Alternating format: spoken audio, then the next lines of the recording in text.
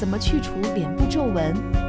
如文医生特邀专家董莹莹，西安交通大学第二附属医院皮肤科副主任医师。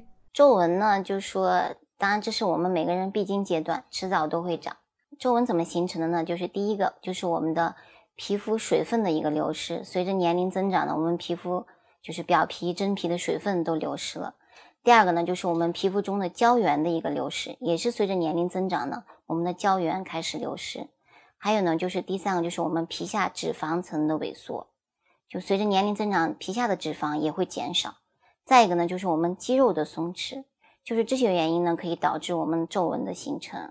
脸部的皱纹去除的办法呢，现在就是有很多。当然，我还想说的第一个就是我们日常的一个生活的养护，比如说我们一个良好充足的睡眠，就是一个均衡的饮食结构。我们经常多补充一些胶原类的产品，维生素类的、蛋白类的多补充，然后良好的一个心情，再一个呢就是我们嗯一个对日光紫外线的一个防护，这样子呢就是我们减缓我们的皱纹的生成。